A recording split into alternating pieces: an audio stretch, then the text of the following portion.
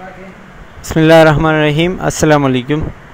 آج ہم وائوا کے حوالے سے cardiovascular system disorder کے بارے میں پڑھیں گے، جو چیزیں امپورٹنٹ ہوں گی۔ اس میں ہم جسٹ اوور ویو پڑھیں گے، زیادہ ڈیٹیل نہیں ہوگا۔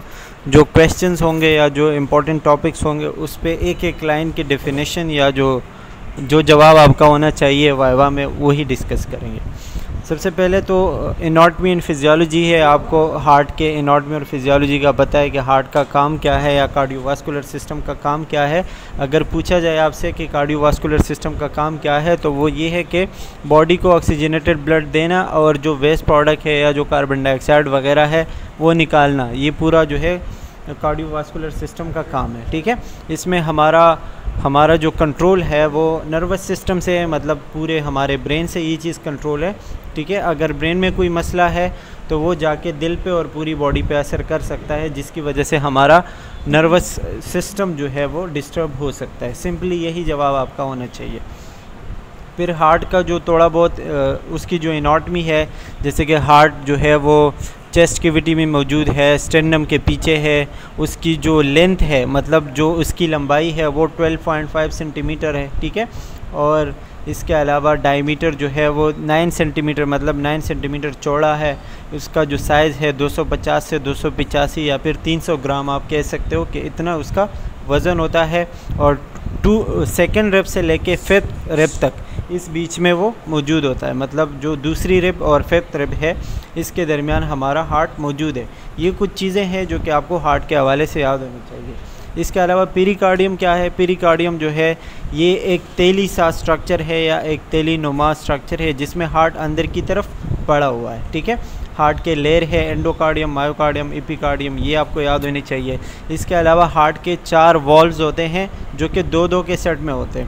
دو وال ایٹریم اور وینٹرکل کے بیچ میں ہوتے ہیں۔ ایک وال جو پلمونری آرٹری نکلتی ہے وہاں پہ ہوتا ہے اور دوسرا وال جو ہے وہ ایووٹے، ایووٹا جو نکلتا ہے، ٹھیک ہے، اس کے سٹارٹ میں ہوتا ہے۔ اس کے نام آپ کو یاد ہونے چاہیے، جو لیفٹ سائڈ پہ ہے، لیفٹ وینٹریکل اور لیفٹ ایٹریم کے بیچ میں۔ اس کو ہم کہیں گے ٹرائی کسپڈ وال، ٹھیک ہے۔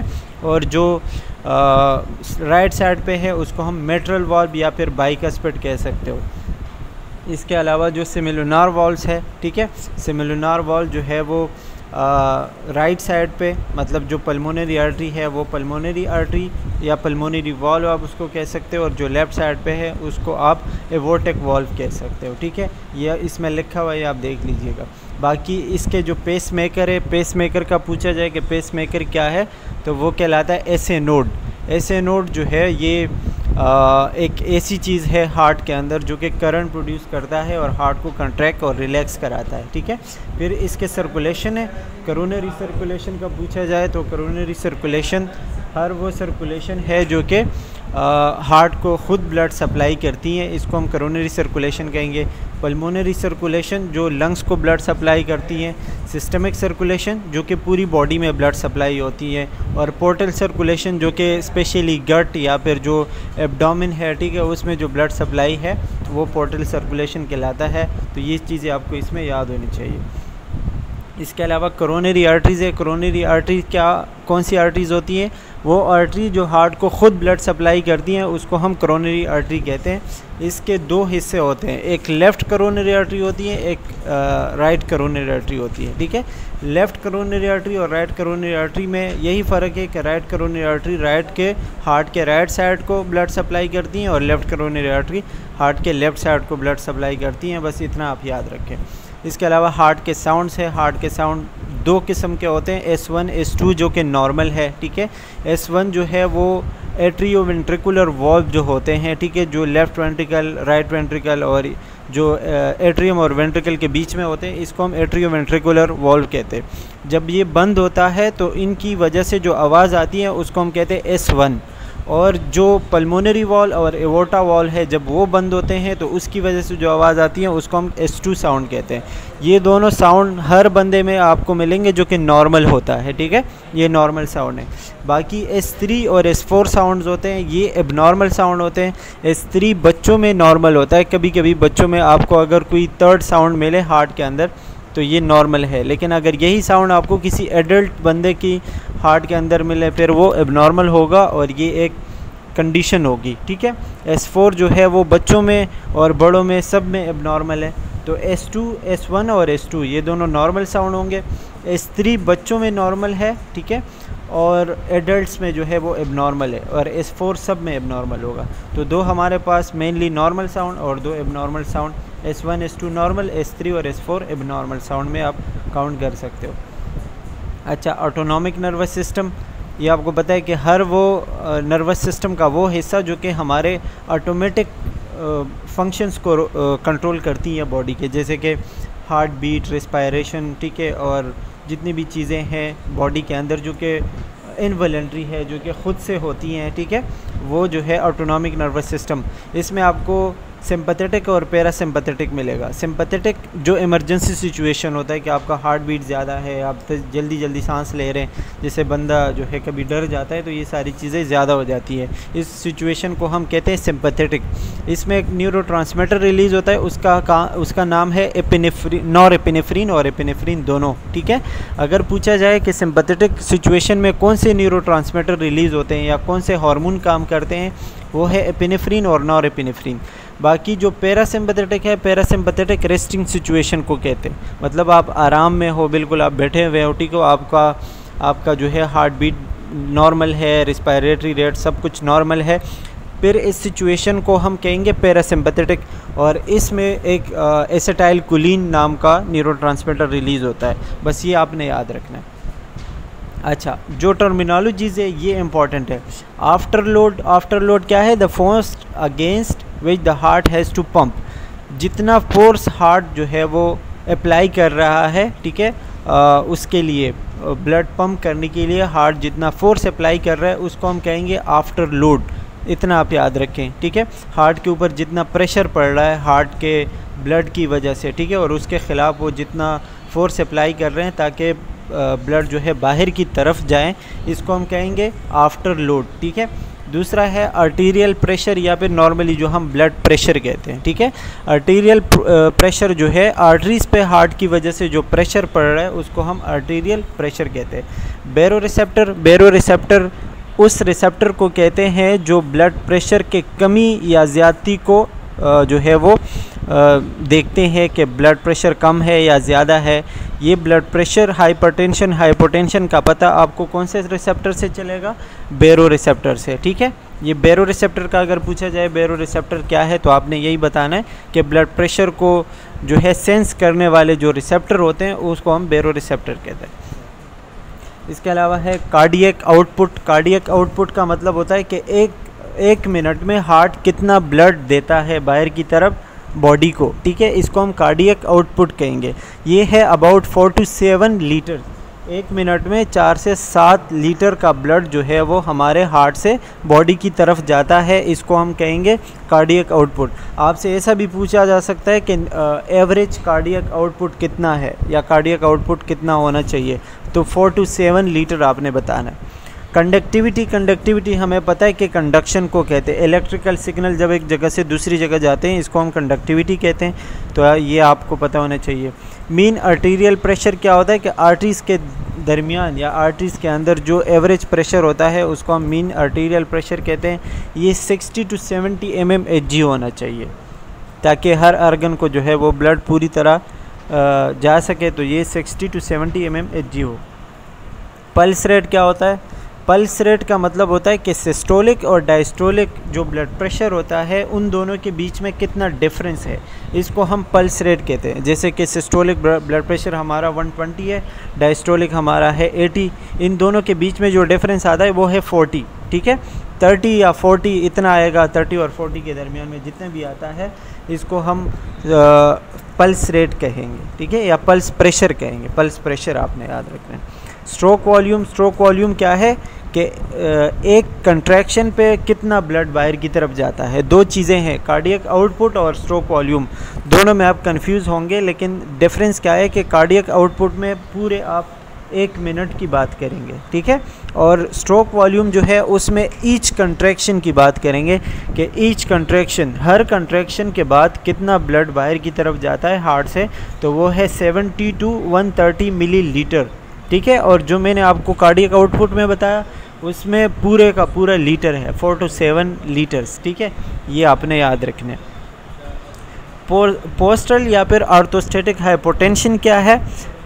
وہ ہمیں پتہ ہے کہ جب ہم بیٹھے ہوتے ہیں یا لیٹے ہوتے ہیں اور اچانک کھڑے ہو جائیں، تو ہمارا بلڈ پریشر لو ہوتا ہے۔ ہمیں چکر آنے لگتے ہیں، ٹھیک ہے؟ یہ جو بلڈ پریشر لو ہوتا ہے، اس سچویشن کو ہم آرتھوسٹیٹک یا پوسٹرل ہائپو ٹینشن کہتے ہیں، ٹھیک ہے؟ اچھا پری لوڈ ہے۔ پری لوڈ کا مطلب ہوتا ہے the volume of blood stretching the left ventricle at the end of the diastole مطلب جو ایک دفعہ ہارٹ کنٹریک ہوا، اب دوسری دفعہ جو ہوگا، اس سے پہلے جو لیفٹ وینٹریکلس کے جو مسلز ہوتے ہیں، جب وہ کنٹریکٹ ہوتے ہیں اسٹریچ ہوتے ہیں، ٹھیک ہے؟ نیکسٹ کنٹریکشن کے لیے تیار ہوتے ہیں، اس کو ہم پری لوڈ کہیں گے۔ مطلب لوڈ، پری لوڈ کا مطلب ہوگا، جو بلڈ لوڈ ہوگا یا جو باہر کی طرف جائے گا، اس سے پہلے جو لیفٹ وینٹریکل ہوگا، وہ کس طرح اپنے آپ کو تیار کرتا ہے تاکہ بلڈ باہر کی طرف جائے، اس کو ہم پری لوڈ کہیں گے۔ اچھا جی۔ یہ کارڈیک مارکرز جو کہ بہت زیادہ امپورٹنٹ ہے، سب سے پہلے تو آپ سے یہ پوچھا جا سکتا ہے کہ کارڈیک مارکر ہے کیا چیز؟ تو کارڈیک مارکر اس کو کہتے ہیں، ہر اس چیز کو کہتے ہیں جو آپ کو ہارٹ کا کوئی بیماری بتائیں۔ فار ایگزامپل اگر کسی کو ہارٹ اٹیک ہوا ہوا ہے، تو اس کے ہارٹ میں کوئی ایسی چیزیں ہوں گی جن کا لیول بڑھے گا۔ جب وہ لیول بڑھے گا تو ڈاکٹر یا پھر جو پریکٹیشنر ہوتا ہے، اس کو پتہ چلے گا کہ ہاں اس بندے کو ہارٹ کا کوئی مسئلہ ہے، ٹھیک ہے؟ یہ کون کون سے مارکر ہوتے ہیں؟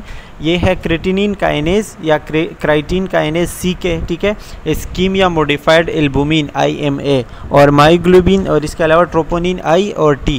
یہ چار نام جو ہے آپ کو یاد ہونے چاہیے۔ اس میں سے کوئی بھی آپ سے پوچھا جا سکتا ہے کہ یہ کیا چیز ہے، یا پھر کارڈیک مارکر جو ہے وہ کیا رول پلے کرتا ہے، تو آپ کو یہ بات پتہ ہو۔ ٹھیک ہے، اس کے علاوہ باقی یہی ڈیٹیل لکھی ہوئی آپ یہ پی پی ٹی میں دیکھ سکتے ہیں۔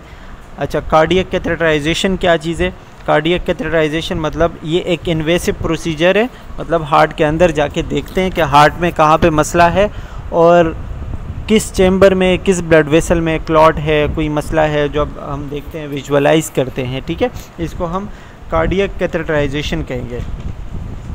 الیکٹرو کارڈیوگرام جو ای سی جی ہے ای سی جی کا آپ کو پتہ ہے کہ ہارٹ کے ریدم اور ریٹ کو دیکھنے کے لیے کرتے ہیں.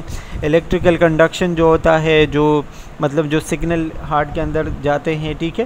اس کو دیکھنے کے لیے کرتے ہیں. اس کے اندر آپ کو فائیو ویوز ملیں گے. P wave Q R S اور ٹی ٹھیک ہے؟ پی ویو جو ہے وہ آپ کو ایٹریل کنٹریکشن یا ایٹریل ڈیپولرائزیشن شو کرتا ہے۔ کیوں آر ایکس آپ کو وینٹریکولر کنٹریکشن شو کرتا ہے اور ٹی ویو جو ہے وہ پورا ریلیکسیشن یا پھر ریلیکسیشن کو ہم ریپولرائزیشن کہتے ہیں، وہ شو کرتا ہے۔ اچھا نیکسٹ ون از انیورزم انیورزم کا آپ کو سمپل یاد ہونا چاہیے کہ آرٹری کی دیواریں جب ویک ہو جائیں، ٹھیک ہے، اور اب نارملی لارج ہو جائے مطلب سویلنگ ہو جائے آرٹریز میں، ٹھیک ہے، اور دیواریں اس کے ویک ہو اس کو ہم انیورزم کہتے ہیں سمپل اس کے کازز کازز میں جو ہے کوئی ٹراما ہو سکتا ہے، کوئی زیادہ، بہت زیادہ بلڈ پریشر ہو سکتا ہے، ٹھیک ہے ہائپر ٹینشن جو لکھا ہوا ہے۔ سفیلس سفیلس ایز ایک سیکشول ٹرانسمیٹڈ ڈیزیز ہے، ٹھیک ہے۔ تو اس کی وجہ سے بھی یہ ہو سکتا ہے۔ اس کو دیکھنے کے لیے سیٹ اسکین انجیوگرافی وغیرہ کرتے ہیں۔ یہ آپ پڑھ لیجیے گا۔ کرونری آرٹریز کرونری آرٹریز کے جو ڈیزیزز ہیں، اس میں سب سے پہلے تو آپ کو فیٹس کا بتایا گیا ہے کولیسٹرول تو cholesterol H D L L D L triglyceride اور ٹوٹل کولیسٹرول یہ آپ کو اس کے جو لمٹس ہے، یہ آپ کو یاد ہونے چاہیے۔ اس سے ایچ ڈی ایل جو ہے وہ ففٹی سے زیادہ ہونا چاہیے۔ ایل ڈی ایل ہنڈریڈ سے کم ہونا چاہیے۔ ٹرائی گلائسرائڈ ایک سو پچاس یا ہنڈریڈ اینڈ سے کم ہونے چاہیے، ٹھیک ہے؟ ٹوٹل کولیسٹرول جو ہے وہ ٹو ہنڈریڈ سے کم ہونے چاہیے۔ یہ آپ کو چار چیزیں اس میں یاد ہونے چاہیے۔ ایتھروسکلیروسس سمپل ہے، جب ہماری آرٹریز سخت ہو جائیں، اس میں فیٹ ڈیپوزیشن ہو جائیں اور آرٹریز نارملی لچکدار الاسٹک ہوتی ہیں، لیکن جب یہ ہارڈ ہو جائیں، سخت ہو جائے اس کو ہم ایتھروسکلیروسس کہتے ہیں، ٹھیک ہے؟ یہ آپ کو ڈائیگرام میں بتایا گیا ہے، اس میں یہ جو ہے فیٹ جمع ہوا ہوا ہے، اس کو ہم ایتھروسکلیروسس کنڈیشن کہتے ہیں۔ اچھا جی۔ انجائنا پیکٹورس یہ کافی بہت زیادہ امپورٹنٹ ہے، یہ آپ سے ڈیفینیٹلی پوچھ سکتے ہیں انجائنا پیکٹورس انجائنا پیکٹورس ہمیں پتہ ہے کہ ہارٹ اٹیک سے پہلے جو سینے میں لیفٹ سائڈ پہ جو درد ہوتا ہے، ٹھیک ہے، اس کو ہم انجائنا پیکٹورس کہتے ہیں۔ لیکن یہ بذات خود کوئی بیماری نہیں ہے۔ اس طرح بھی پوچھا جائے کہ انجائنا پیکٹورس کوئی بیماری ہے۔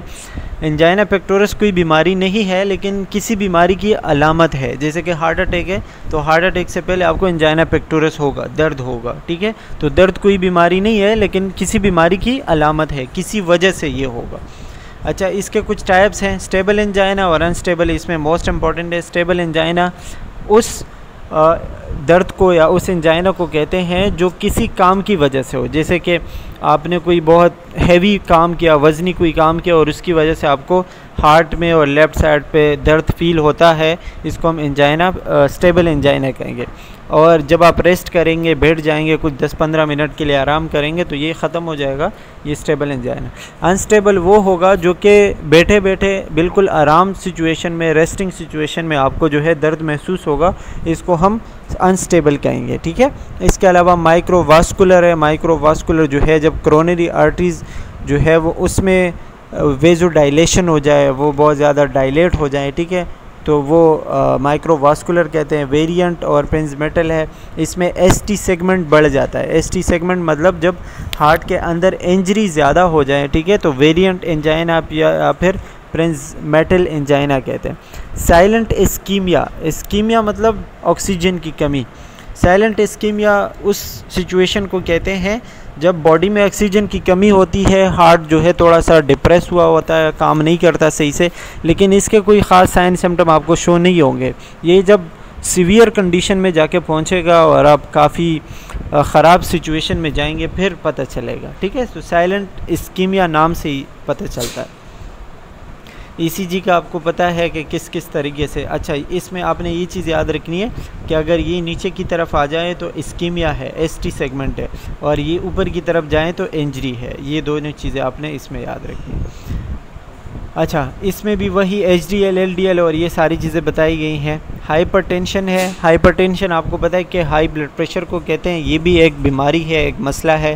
نارملی جو ہے وہ ایک سو بیس بائی اسی ہے، جو کہ سسٹولک اور ڈائسٹولک ہوتا ہے۔ Pre hypertension stage one اور اسٹیج ٹو کا آپ کو بتایا گیا ہے۔ اسٹیج ون جو ہے وہ ون فورٹی سے اگر زیادہ ہے تو اسٹیج ون ہے اور اگر ون سکسٹی سے زیادہ ہو رہا ہے تو پھر وہ اسٹیج ٹو ہے۔ یہ آپ کو یاد ہونے چاہیے اس میں۔ اچھا۔ نیکسٹ ون اس میں جو امپورٹنٹ ہے وہ اس کے ڈرگز ہے جو کہ ہارٹ کے اوپر اثر کرتے ہیں یا پھر بلڈ پریشر کو کم کرتے ہیں۔ تائزائر ڈائریٹکس اور جو ہم نے پڑھے اے سی ای انہیبیٹر اے آر بیز، یہ ساری چیزیں ہم پڑھ چکے ہیں فارماکالوجی میں۔ ایک نظر آپ دیکھ لیجیے گا، باقی اس میں آپ کو صرف ڈرگ کے نام پتہ ہو تو بھی کافی ہے۔ بیٹا بلاکر وغیرہ، ٹھیک ہے؟ اچھا باقی اس کے انفیکشن ہے انفیکشن آپ کو پتہ ہے کہ کسی بھی چیز کے ساتھ ہم ٹی آئی ایس لگاتے ہیں تو وہ ہمیں انفلیمیشن شو کرتا ہے۔ جیسے اینڈوکارڈیس ہے تو مطلب اینڈیوکارڈیاٹس تو اینڈوکارڈیم لیئر کے انفلیمیشن ہو جائے، اس کو ہم اینڈوکارڈیاٹس کہیں گے، ٹھیک ہے؟ اس میں اتنا ڈیٹیل نہیں ہے۔ آپ دیکھ لیں تو آپ کو پتہ چل جائے گا۔ اچھا جی نیکسٹ پہ آتے ہیں مائیوکارڈیل انفاکشن مائیوکارڈیل انفاکشن آپ کو پتہ ہے ہارٹ اٹیک کو کہتے ہیں۔ جب ہارٹ کے مسلز یا پھر جو ٹیشوز کے جو لیئر ہوتے ہیں، وہ ڈیڈ ہوتے ہیں ڈیڈ ہو جائیں، اس میں بلڈ فلو کم ہو، اس میں آکسیجن کی کمی ہو، اس کنڈیشن کو ہم مایوکارڈین انفاکشن کہتے ہیں۔ اور اس کی وجوہات کوئی بھی کلاٹ یا کوئی بھی اسپیزم مطلب کوئی چپکاوٹ یا اس طریقے سے جب بلڈ نہیں پہنچ پا رہا ہو، ٹھیک ہے ہارٹ تک، تو وہ مایوکارڈین انفاکشن آپ کو کرا سکتے ہیں، مسئلے ہو سکتے ہیں۔ اس میں بھی وہی کارڈیک مارکر دیکھتے ہیں کہ مطلب اگر کسی کو ہارٹ اٹیک ہوا ہے تو ٹروپونین اور مائیگلوبین اور سی کے وہ ساری چیزیں اس میں دیکھیں گے۔ اچھا اس میں بھی آپ کو اگر آپ سے پوچھا جائے کہ ہارٹ اٹیک کے یا پھر مایوکارڈیل انفاکشن کے میڈیکیشن کیا ہے؟ کون کون سے آپ کو اس مطلب میڈیکیشن دے سکتے ہیں میڈیسنس اس میں اینٹی تھرومبوٹک ہے۔ اینٹی تھرومبوٹک وہ ڈرگ ہوتے ہیں جو بلڈ کلاٹ کو پریونٹ کرتے ہیں۔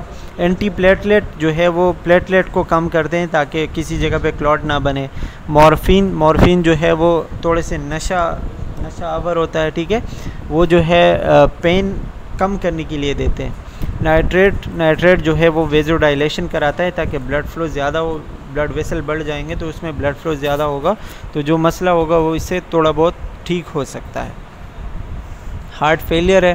ہارٹ فیلئر جو ہے، جب بلڈ نہیں پمپ پا رہا ہو، ٹھیک ہے، ہارٹ اس قابل نہیں ہو کہ وہ جتنا بلڈ باڈی کو چاہیے، اتنا باڈی کو دے سکے۔ اس کنڈیشن کو ہم کہتے ہیں ہارٹ فیلئر سمپل آپ اتنا یاد رکھیں کہ جب ہارٹ اس قابل نہیں ہو کہ باڈی کی جو ضرورت ہے بلڈ کی، وہ پوری کر سکے، یہ ہارٹ فیلئر کہلاتا ہے۔ ٹھیک ہے؟